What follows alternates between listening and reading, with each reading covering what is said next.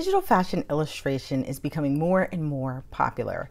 And although there's a lot of software out there that you can use to create your fashion illustrations, if you're an Adobe user, Photoshop is a great option for this.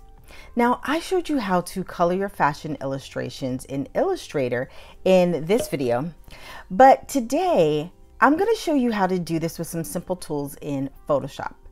Now keep in mind that I'm not going to go through all of the tools in Photoshop, so you should have a basic understanding of how to use the software in order to get the most out of today's tutorial.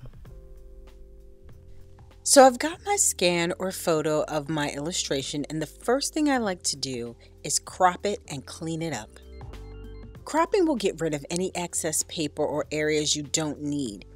It also helps to ensure your file isn't larger than it needs to be simply because you have extra white space around your illustration. To crop your picture, choose the crop tool and drag the sides of the box that appears to surround your illustration more closely. Once you're happy with the size, press enter.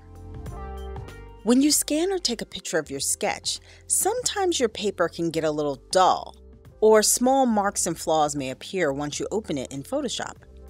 To help brighten up the paper and sharpen your details, go to Image, Adjustments, Levels.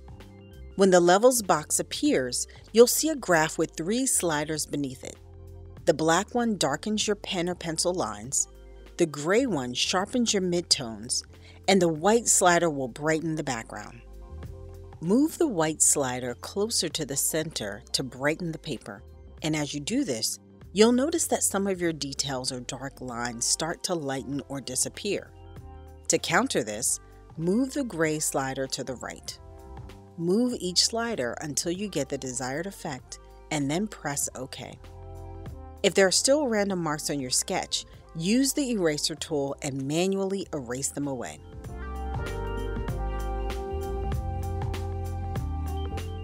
To give you the most versatility when you're filling your illustration, Keep the layers you use to add color separate from the layer with the original sketch.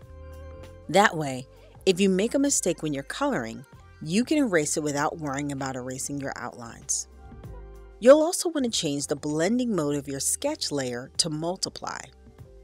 Blending modes change how the color on one layer interacts with the color on another overlapping layer.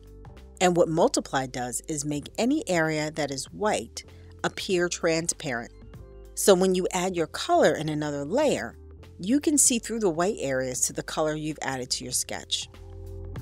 Create a new blank layer to add your color. You'll need to place this layer below the sketch layer, but you'll first need to unlock it. To do this, all you'll need to do is click the padlock. And once the layer is unlocked, drag the empty layer beneath the sketch layer and you're ready to start adding your color. One of the simplest ways to add solid color to your sketch is with the paint bucket. Choose the paint bucket, click the foreground box to choose a color, and in the options bar, make sure that contiguous and all layers are checked so that Photoshop will fill one area at a time and it will use the outlines of the sketch layer but fill color in the empty layer. Then, just click to fill with solid color. You can also fill with pattern if you change the option in the options bar from foreground to pattern. I also like to use adjustment layers because they allow you a little more flexibility with sizing and placing your pattern. I want to add denim to this pant, so I'm going to open a denim texture and save it as a pattern. Then go back to your sketch and select the pant. I'm using the magic wand to do this. And again, check your options bar to ensure contiguous and sample all layers is checked. Next, click the black and white cookie at the bottom of the layers panel and choose pattern. The denim swatch, which is the last swatch that was saved, will automatically appear. And to size it so it looks proportional to the sketch, use the slider to scale down the texture. And if you need to move the placement of your texture for any reason, bring your cursor onto the artboard and click and drag to move it around in the sketch. At some point, you may want to just color in your sketch like you would if you were using your markers or colored pencils. This is when I switch to the brush tool. You may also want to make a separate layer for this. There are so many brushes to choose from in the brushes panel, but to start, let's keep it simple and use the basic soft round brush. Choose the brush, adjust it to your desired size, and let's start coloring. Now, I like to use the Adobe color themes to get colors, particularly for hair and skin. And if you're unfamiliar with how to use the color themes panel, you can check out this video.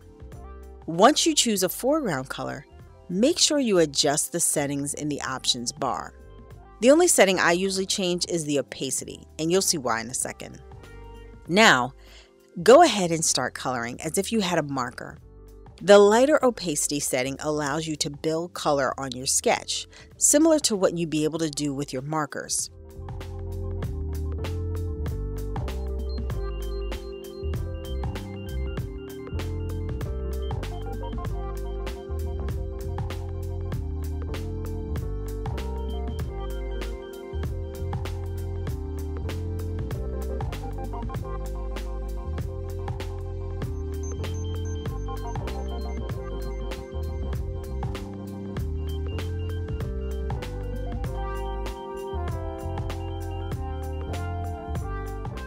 If you color a little outside the lines or over another texture, you can just switch the eraser tool and erase it.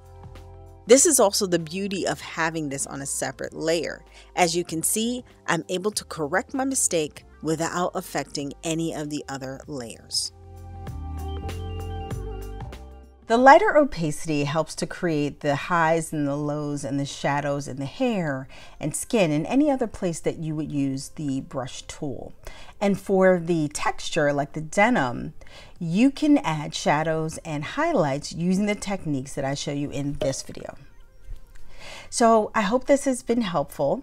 There's so many things that you can do with Photoshop and fashion illustration, but this tutorial will help give you some good tools to start with. Have a great week. Thanks for watching, and I'll see you next time.